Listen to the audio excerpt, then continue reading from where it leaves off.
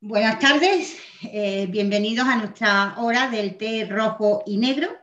Y hoy vamos a estar con una compañera muy luchadora, muy querida, a la que echamos de menos. y, y ella se llama Leo. Y como es habitual, la primera pregunta es, ¿quién es Leo? Bueno, pues con respecto a CGT, mm, pues soy la secretaria de Mujer de CGT Andalucía Ceuta Melilla. Desde hace unos años sustituyo a, la, que, a la secretaria que se salió en el Congreso, pero bueno, ella tuvo que abandonar el puesto y bueno, me ofrecieron el quedarme con él y, y bueno, llevo unos años pues intentando hacerlo lo mejor posible. ¿Cómo llegas a la CGT? ¿Cómo, cómo no sé, mm, cuéntame un poco de ti, que, conozcamos bien. Bueno, pues mira, eh, si, soy sincera, yo realmente eh, el tema de los sindicatos no lo llevaba muy bien. Eh, yo veía nada más que traiciones, veía que no ayudaban, que iban nada más que a lo suyo. Y yo la verdad que siempre he sido muy crítica con, con, los sindicatos en general. yo no conocía la CGT. Un día por casualidad, una compañera de trabajo estaba haciendo la lista de, para las elecciones y bueno, se cometió una injusticia en la que Comisiones adelantó la, la elección, la fecha de las elecciones, se quedaba al descubierto y bueno, de un día para otro me lo pensé y dije, venga, ya tiras para adelante. Empecé a mirar en internet lo que era CGT, qué, ideología tenía y la verdad que sin conocerlo eh, me sentí como eh, que, esa era mi forma de pensar desde hace muchos años, pero no encontraba la casa donde yo encajara. Pues yo era muy de dar la razón, a todo el mundo iba a vale y no discutí nada, pero yo decía yo, es que yo tengo una forma de pensar que no sé, que, no, es nada, no tiene nada que ver con, con lo que la gente discute, con lo que... Y bueno, la verdad que ahí me eché para adelante y le dije a la compañera, digo, mira, me voy a meter con vosotras y además quiero ir de las primeras para empezar a, a realizarme y luchar por la gente. Porque es verdad que siempre me considero una persona luchadora, siempre he defendido lo injusto, porque yo la injusticia para mí es algo que no, que no soporto, pero siempre desde un punto más individual. Sí ayudando a la gente, pero desde un plano atrás. Y bueno, pues ahí empecé, empezamos hace unos años como delegada. Eh, poco después eh, Miguel le ofreció a, Lola ser secretaria de formación, hacer una, secretaría conjunta a las dos. Lo que pasa que una de las dos tenía que ser la que representara realmente como un nombre eh, en la secretaría, porque claro, no existe estas personas en una misma secretaría. Y empecé colaborando con ella. Yo siempre he estado en un plano atrás, nunca, me nunca he sido una persona que me guste exponerme mucho, sino realizar el trabajo desde atrás. Y bueno, pues empecé como colaboradora de formación. Y al año fue cuando Miguel me propuso lo de la Secretaría de Mujer. Yo no me veía preparada y se lo dije, digo, Miguel, yo no tengo ni idea de, esto. Y bueno, él me animó mucho, me dijo, tira para adelante. Y bueno, pues al final lo cogí y empecé a crear un grupo de, de mujeres. Me costó mucho trabajo, pero hoy por hoy hay representantes mujeres en todas las provincias de Andalucía. Hay un grupo de trabajo muy bonito Gracias a este grupo de trabajo sale la secretaría, porque el trabajo realmente es de ella. Yo más o menos le voy guiando, pero el trabajo eh, es, conjunto, es, un equipo lo que tenemos. ¿Y qué trabajo, Leo, es el que realizáis desde la Secretaría de la Mujer? Bueno, pues mm, nosotras intentamos, uno de nuestros objetivos principales es la huelga del 8M, no, la huelga en sí, sino conseguir de verdad la igualdad real y efectiva, que no, no lo que nos venden, que ya la hemos conseguido, sino eh, mostrar todas las discriminaciones que, tenemos por ser mujeres. Y bueno, pues intentamos participar en, todas las fechas que son eh, muy importantes para nosotras, como el 25N, el 8M, el Día del Orgullo, o sea, no solamente eh, englobamos el tema de, eh, mujer, sino eh, la diversidad en todos los aspectos. Hacemos reuniones cada tres meses más o menos y bueno, estamos en contacto siempre en un grupo que tenemos de, WhatsApp por todo lo que puede surgir. Recientemente, por ejemplo, ha habido una caravana a Sáhara, de mujeres saharaui, a las mujeres saharauis, que las tres compañeras del grupo eh, fueron a esta caravana, vinieron muy satisfechas y entonces intentamos, pues eso, estar en, muchos ámbitos, ya no solo a, nivel nacional, sino estar presentes eh, en todas las discriminaciones que, que, sufren. Por ejemplo, en Ceuta también estuvimos haciendo acompañando a las compañeras transfronterizas que tuvieron un problema bastante importante hace unos años porque cerraron las puertas. Y bueno, mm, eh, estuvimos con ellas apoyándolas, guiándolas y, bueno, eh, esa y más cosas. Porque... Después de tanta historia de, del maltrato, violencia de género, ¿cómo crees, cómo ves tú a la mujer en el día de hoy? Bueno, eh, yo tengo una visión bastante crítica. Eh, nos, cuesta mucho desaprender. Desaprender lo que llevamos tantos años eh, desde pequeña educándonos, porque realmente lo han educado en el machismo. Y vemos como normales muchas actuaciones del hombre. muchas de nosotras que incluso nos consideramos feministas y somos casi más duras algunas veces que, personas que no se consideran feministas o no saben lo que es el feminismo en sí. Eh, para a mí lo que más trabajo me cuesta es cuando oigo a compañeras defender eh, las actuaciones de un maltratador, el por qué lo ha podido hacer o el justificar que se haya portado así o o, que no es tan malo, no es tan mala esa persona. Hay cosillas que cuando tú te juntas con ella y, y tienes una conversación sin, darte, sin darse cuenta a ella, ves que realmente eh, estamos en una lucha que todavía nosotras mismas no nos hemos concienciado de ella. No nos damos cuenta de quién es realmente la víctima y al final siempre intenta como justificar actos que, mm, que, no son justificables. Eso es lo que yo ahora mismo peor llevo de, la secretaría. Es una cosa, Leo. ¿Qué es el feminismo? Bueno, pues el feminismo, por mucho que, quieran criticarlo, lo que queremos es realmente una igualdad real. Simplemente queremos tener pues los mismos derechos que el hombre el hombre, ha el hombre siempre ha tenido unos privilegios de los que no se quiere deshacer, evidentemente, porque ahí están las pruebas, y las tareas de cuidado. La casa es tuya, la casa la limpias tú, los niños son tuyos. Eh, es como que mm, tienen un tiempo para, dedicarse a su vida personal que la cargan sobre la mujer. Simplemente nosotras queremos tener igualdad en salario, que aunque digan que, que, que ya tenemos igualdad, que cobramos todo el mundo igual, no es así. Te puedes poner el ejemplo de que las que reducimos las jornadas para cuidar de los menores somos nosotras. El día de mañana nuestras pagas son inferiores a la del hombre porque hemos renunciado a nuestra parte de nuestro salario, a una parte de nuestras cotizaciones. En el tema de la violencia está muy claro. El hombre se siente más fuerte, es verdad, es más fuerte físicamente y que ahora o no que hará, eh, tienes que tener una personalidad muy, muy fuerte para que tú puedas enfrentarte a, alguien así. Y tampoco te dejan, porque el que es maltratador es maltratador. O sea, eh, por mucho que tú te puedas enfrentar a él, eh, solo la justicia puede poner algo de, mediación, pero tú no vas a hacer cambiar a esa persona. vale, y porque verás, yo entiendo de que la igualdad tiene que ser tanto para el hombre como para la mujer. Lo digo porque eh, entiendo que hay muchas, hay hombres maltratadores, pero también habrá mujeres maltratadoras, ¿no? Sí, sí, sí. Son personas. Es que realmente yo una de las cosas que, siempre digo es, eh, son personas, son malas personas.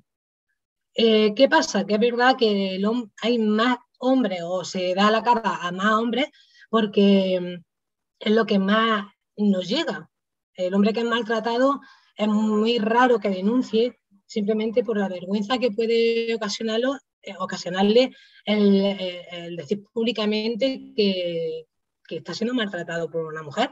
Pero es que hay personas malas como yo suelo decir, y que se consideran superiores y machacan a, la persona que tienen al lado. Eh, hay un dato curioso, me acuerdo cuando salieron los presupuestos del Estado de este año, que oía unas críticas que eran para echarte las manos a la cabeza, cuando decían que para igualdad habían destinado X millones.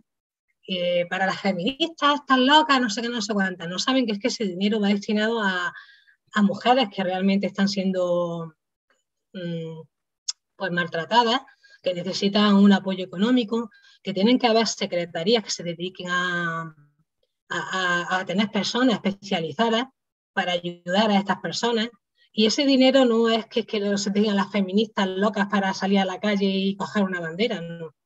Es un presupuesto que se necesita. Son críticas que hacen y, o por ejemplo, es que ahora ya las mujeres tienen más derechos que, nadie. Mm, lo dicen porque es que es lo que la televisión realmente nos vende. Si tú te, si eres realista, eh, yo conozco muchas compañeras que no están recibiendo eh, eh, ninguna compensación económica por parte de su marido, ni paga la manutención de los niños y tienen que estarse quietas porque eh, prefieren eh, como no provocarlo, porque esa es otra de las cosas que dicen muchos ellos, ¿qué habrá hecho ella para que él llegara a ese punto? de cara a la sociedad, pues parece que como no hemos sublevado, salimos a las calles, lo decimos abiertamente, pues que tenemos ahora el poder, pero no es así la mujer seguimos estando estancada, nos cuesta muchísimo dar un paso adelante y el hombre pues siempre va a estar por delante mientras no, mientras desde la educación, desde que son pequeños o somos pequeños, tanto las mujeres como los hombres, no nos eduquen en una igualdad real. Leo, ¿y qué se ha conseguido mm, a través de los sindicatos, a través de esta lucha? O sea, verás, yo quiero preguntarte, ¿qué papel tienen los sindicatos en la lucha de la mujer?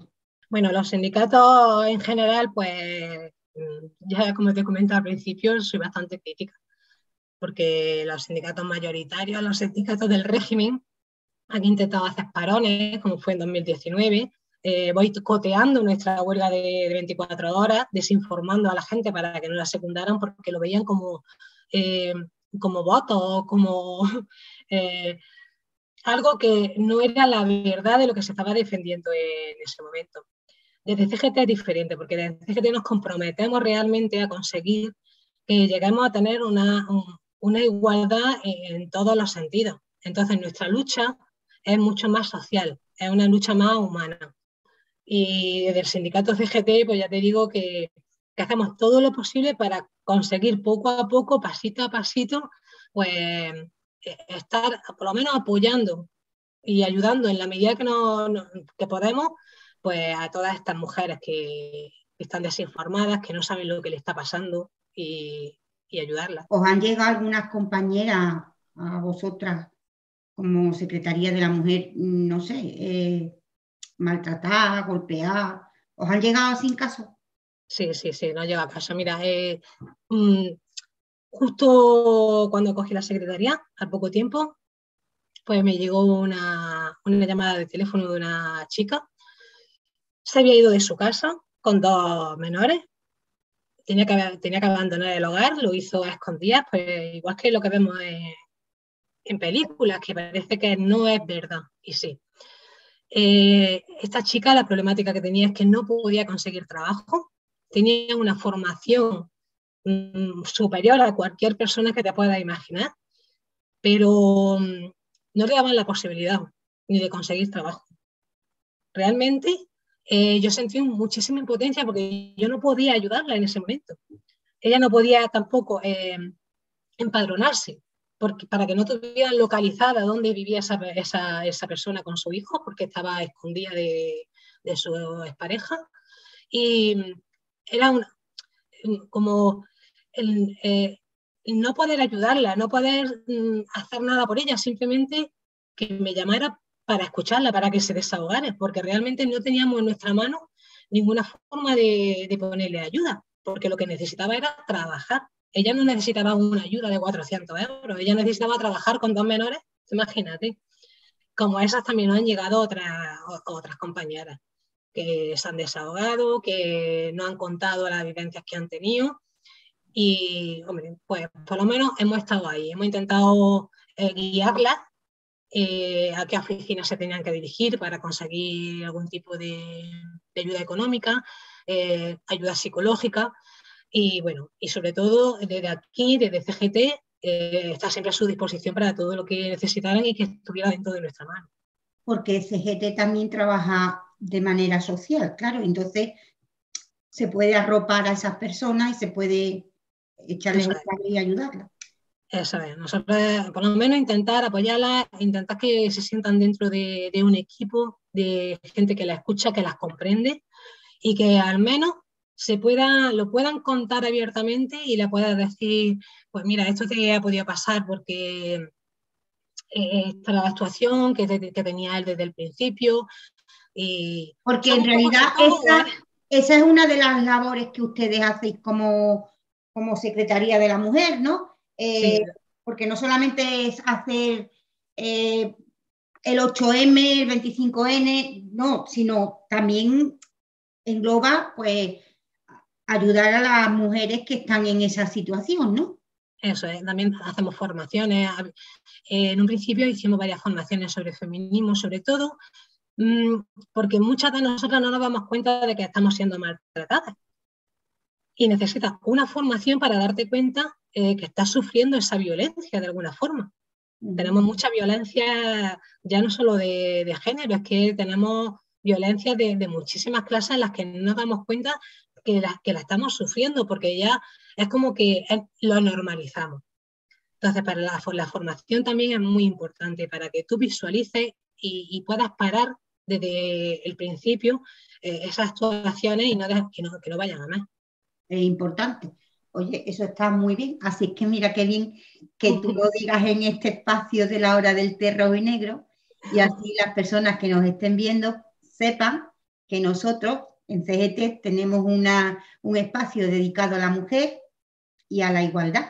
¿Qué opinas tú de la ley de la igualdad? ¿Tú crees que realmente se está llevando a cabo? No, no se está llevando es lo que tú Es lo que tú estabas diciendo antes. O sea, realmente las mujeres siguen cogiendo eh, la, el tiempo de su trabajo, dejan de trabajar para cuidar a los bebés. Pero lo hacemos porque realmente nuestro sueldo siempre es inferior al del hombre.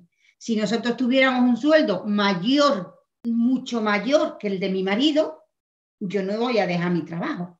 Pero si mi sueldo es más precario que el de mi marido, ¿quién de los dos deja el trabajo? Pues obligatoriamente la mujer. Pues mira, eh, conozco casos vamos, en mi caso particular, eh, que yo cobraba más que mi, mi marido. Y como yo tenía que ejercer la tarea de cuidado en la que tenía que reducir la jornada era yo. Y yo cobraba bastante más que él, tenía un sueldo precario y, y yo tuve que hacer mi reducción de jornada, porque al final yo tenía que asumir los cuidados de, los menores. Él podía asumirlo hasta un cierto punto, pero es como que este tipo de personas eh, se saturan se saturan haciendo algo que no les corresponde, o ellos lo ven como que no les corresponde. Y ojo, que no todos los hombres son así, ¿eh?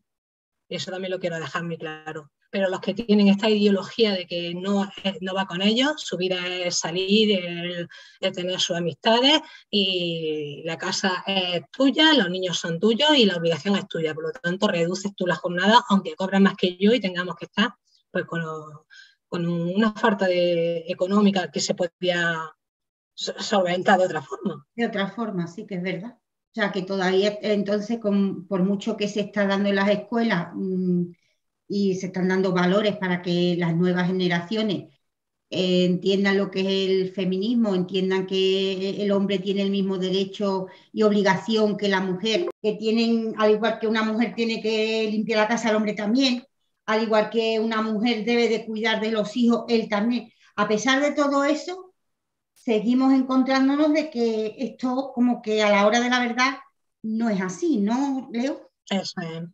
Es verdad que el porcentaje que cada vez va siendo mayor, el de la correspondencia de cuidados por parte del hombre, cada vez se va haciendo cargo más poco a poco. Es verdad que las nuevas generaciones están más formadas que las generaciones que hemos vivido nosotras, por ejemplo, y poco a poco pues va viendo pues que los niños pues, intentan como colaborar más en la casa. Yo lo puedo, lo veo yo, eh, yo misma, ¿no? Eh, está habiendo un poquito de avance, pero realmente ahora mismo, hoy por hoy, muy pocas personas pueden decir que la correspondencia de cuidados se está llevando al 50%, que la limpieza del hogar al 50%. Tú solamente mira, eh, entra a un hospital y mira quién es la, cuida, la cuidadora o el cuidador de la persona enferma. ¿Cuántos hombres hay cuidando? Bueno, mi profesión. Mi profesión. ¿Y tu profesión? es un colectivo totalmente feminizado, hay muy pocos hombres. Una, una de las cosas importantes que yo vería sería que, que entraran más hombres y se igualara la cosa. Y pensaba que con la ley de igualdad lo íbamos a conseguir, pero veo que no. No, no, no, porque no asume, no, es como es algo un tabú para ellos, eso no, ese trabajo no, aunque estén parados, que pueden conseguir con una formación, porque es verdad que también tenéis que tener una formación específica, eh, dar un paso adelante, pueden conseguir un puesto de trabajo gracias a, la atención domiciliaria, pero muy poquito, muy poquito se echan para adelante. Claro, también teniendo en cuenta de los sueldos tan precarios que nos tienen un hombre muy, muy, muy complicado, ¿no? Que, pueda aceptar ese trabajo y, bueno, ah, los tenemos, pero que, es muy sacrificado. Al, igual que, al igual que el tuyo también, porque tú trabajas en telemarketing, ¿no? Sí, yo trabajo en telemarketing. Yo trabajo en telemarketing y llevo ya 18 años en la empresa. Bueno, pues, ha cambiado de nombre de empresa, bueno, eh, una serie de, circunstancias, pero es verdad que llevo 18 años trabajando en telemarketing y pues sí, es un sector precario también. Es un sector precario porque los sueldos ahora tenemos la negociación del convenio que van a firmar con unas subidas que son irrisorias no llegamos ni a la subida de un 3%, vamos a perder un nivel adquisitivo desde hace un montón de años, que es increíble, y vamos a seguir siendo precarias, trabajadoras precarias. Y tú no solamente has trabajado en la Secretaría de la Mujer, como has dicho, has, trabajado, has colaborado con formación, con esos pedazos de curso que hemos hecho, y también te hemos visto en Onda Barricada. Cuéntanos esa experiencia. Bueno, Onda Barricada, yo tengo un recuerdo. Porque te hiciste muy buena comunicadora, ¿eh? muchas gracias. Yo, bueno, entré por casualidad porque la verdad que, yo cuando me llamé, entré en secretaría, ya me daba igual todo y me decían, vamos a hacer esto y bueno, pues venga, pues tiro para adelante. Estaba Lola en principio con Diego, eh, nos pilló en confinamiento y bueno, pues ella dejó, la, dejó Onda Barricada y me propusieron pues seguir colaborando con Diego. Bueno, empezamos pues primero pues así por Zoom, haciendo entrevistas y bueno, pues poco a poco ya acabó el confinamiento y empezamos a, pues, a estar en todas las luchas, a visibilizar todas las manifestaciones, concentraciones, eh, problemáticas que tenía la gente con despidos, cualquier tipo de injusticia. Y empezamos, pues, como habéis visto, eh, a viajar, a contactar con gente, a ayudar, a, mm, ya en toda Andalucía, Ceuta, Melilla. Buenas tardes y buenas noches desde Málaga, aquí al lado de la estación de María Aquí desde la Consejería de Fomento en Sevilla Buenos días, buenas tardes y buenas noches. Saludando como siempre desde Onda Barricada al pie del cañón.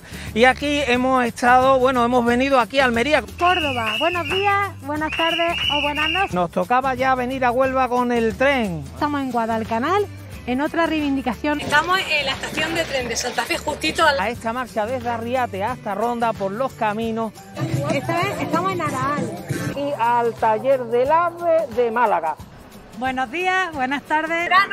Eh, intentábamos por lo menos sacar a la luz lo que era la realidad de esta sociedad, no lo que nos vende la televisión. Y era una, uno de nuestros objetivos.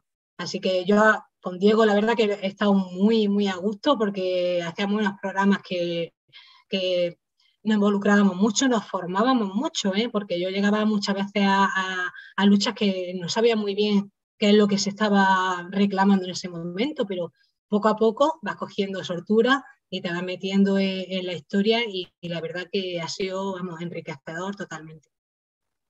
He visto defendiendo eh, el caso de Lola en un programa y madre mía, la, qué guerrera, qué, maravilla, qué soltura hablando. Bueno, espectacular.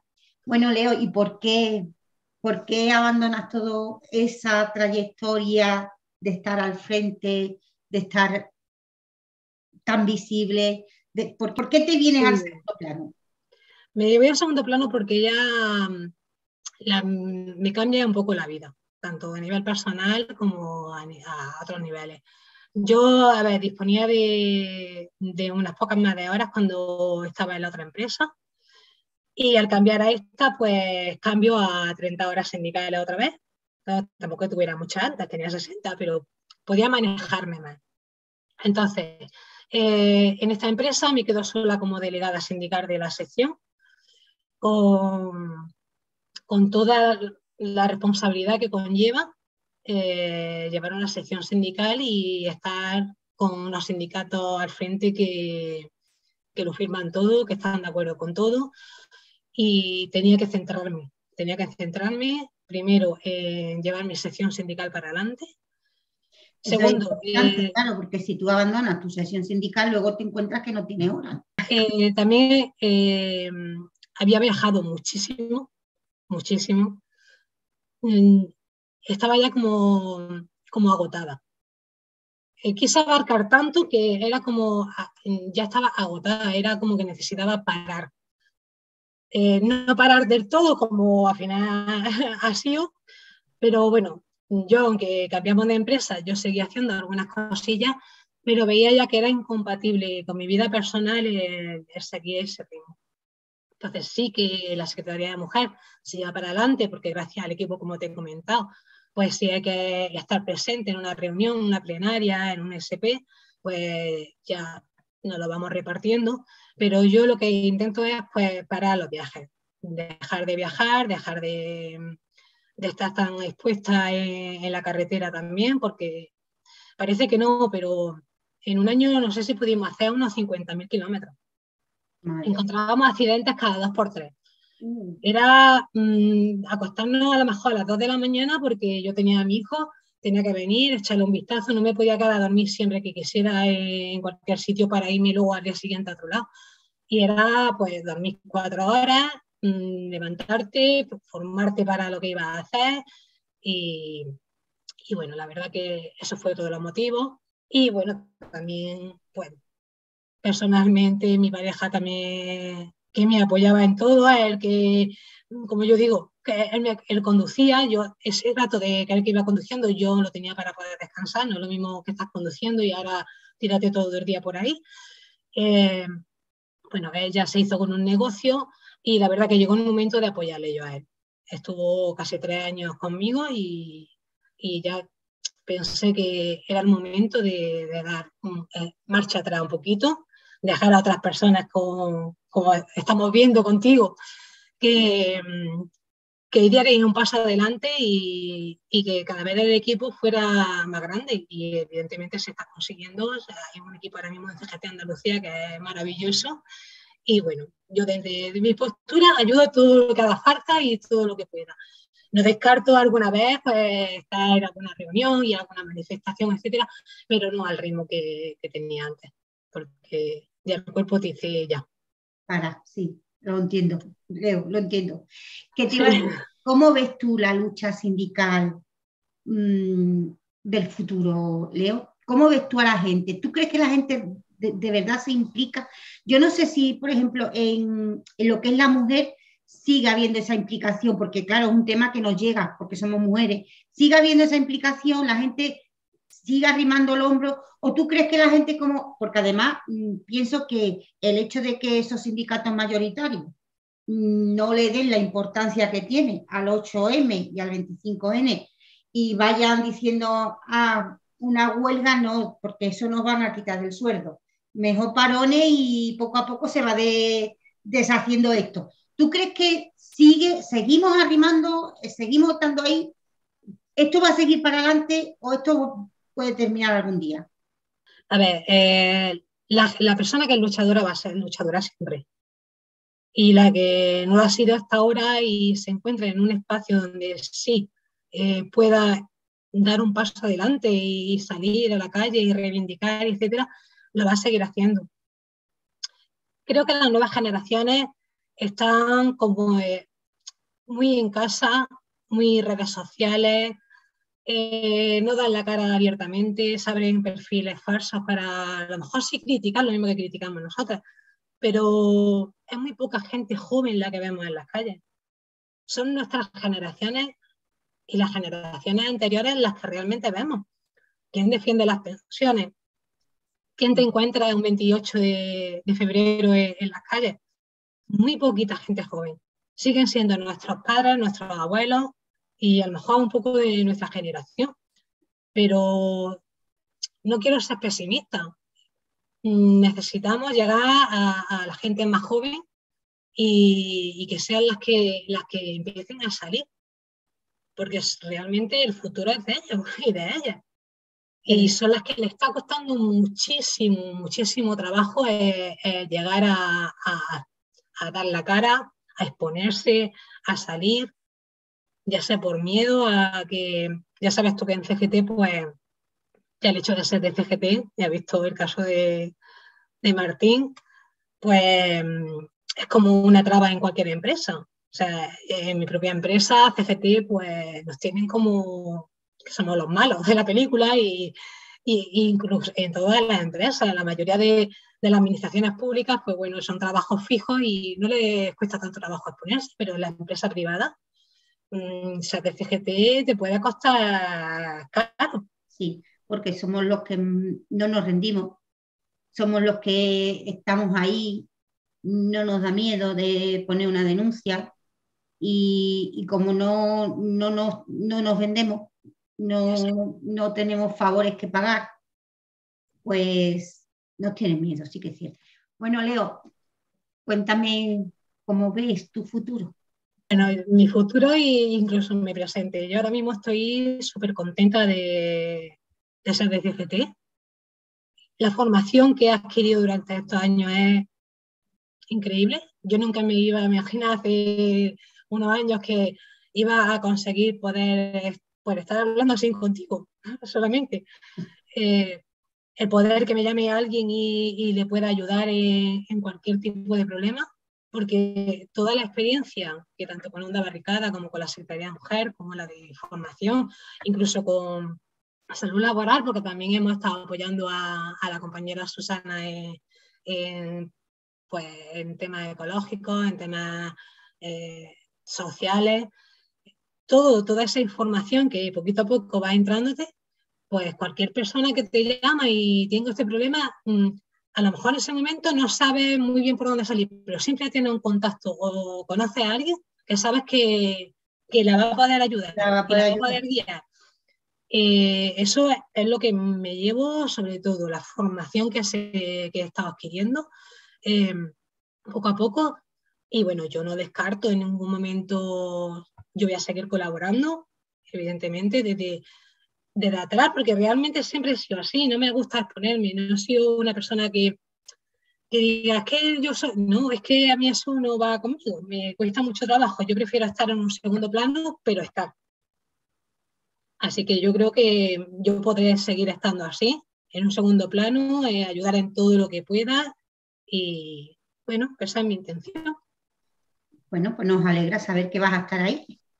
Y otra cosa, ya por último, mm, ¿qué consejo le das tú a las personas que nos estén viendo y ojalá que sean personas jóvenes y que son las futuras, que, es el futuro, son las personas que, bueno, que al fin y al cabo van a tener que coger nuestro relevo. Darles un consejo, ¿por qué tienen que, por qué tienen que, por qué entre las cosas que hay es mejor venirse a CGT por qué es importante la lucha de CGT y por qué deberían de, oye, coger nuestro camino. Mira, eh, uno de los mm, motivos principales que a mí me hicieron acogerme mucho a CGT es que la ideología narcosindicalista no defienden ningún partido político. Por lo tanto, nos da igual luchar contra un partido que otro, que una administración, que... Eh, entonces, el ser neutrales te hace como ser más consciente y creerte más lo que estás haciendo. Porque no es lo mismo que seas del régimen y te decantes por uno que por otro y sepas que no te puedes manifestar en la puerta de X eh, en cualquier sitio para defender lo que es injusto. Eh, nosotros defendemos todo, todo lo injusto lo defendemos. Y no solamente a nivel laboral, a nivel social, a nivel de igualdad, a nivel de todos los temas que te puedas plantear. Estamos en todos los problemas que pueda haber eh, en la sociedad hoy en día. Eso no lo abarca cualquier sindicato. Eso solo lo abarca CGT. Y, además, mm, otra cosa, desde el corazón, que eso no lo tienen en todos lados. ¿eh? Anda que no, es verdad. Ahí llevas toda la razón. Por lo tanto, es importante que la gente nos conozca, mm. nos apoye, se afilie y sean militantes de CET. Y sean militantes, aunque cueste mucho trabajo la militancia, porque ya de por sí nos queda muy poco tiempo libre, sobre todo a las mujeres, que la, hora de militancia cuesta, pero hay que estar ahí. Porque mira, yo te voy a dar un dato. Eh, yo recuerdo la primera manifestación a la que salí a la calle, del día del 8M. Mm. Para mí, lo más bonito del mundo fue cuando yo llegué a mi casa y vi la cara de orgullo de mi hijo y de mi hija. De decir, mira mi madre lo que está haciendo por nosotros. Eso es lo que tiene que ver. Las nuevas generaciones que hemos empezado nosotras y tienen que continuar. Qué bonito, Leo. Muchas gracias por compartir todo esto con nosotros. Y bueno, pues nada, esperamos vernos en el siguiente programa y muchísimas gracias por estar con nosotros y hasta el próximo sábado.